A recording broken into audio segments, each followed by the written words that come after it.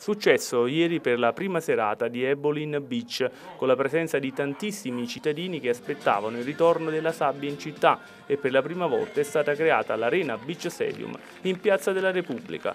Subito spettacolo con il Memorial Giugno Tagliaferro Sgritta. Da oggi il torneo amatoriale che durerà fino al 15 luglio, curato dall'organizzatore Massimo Giussi e il suo staff. Ma ascoltiamo le voci dei protagonisti.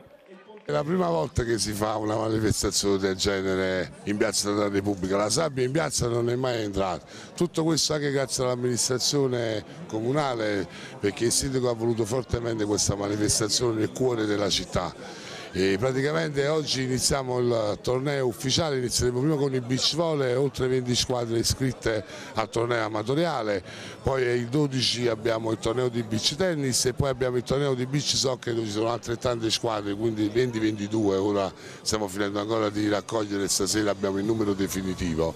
Le finali si faranno il 15 di luglio qui in Piazza della Repubblica, abbiamo allestito un bellissimo villaggio che parte dall'inizio della piazza e arriva oltre il campo, abbiamo più di 10 stendisti e prodotti enogastronomici, invitiamo tutti a visitarci e a passare una serata diversa in compagnia dello sport e degli amici di Sud TV.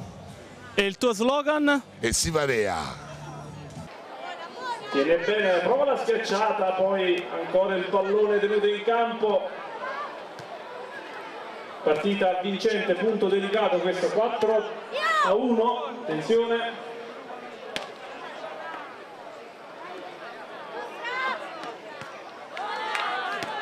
Ed è spettacolo, palla dentro, palla dentro, 5 a 1.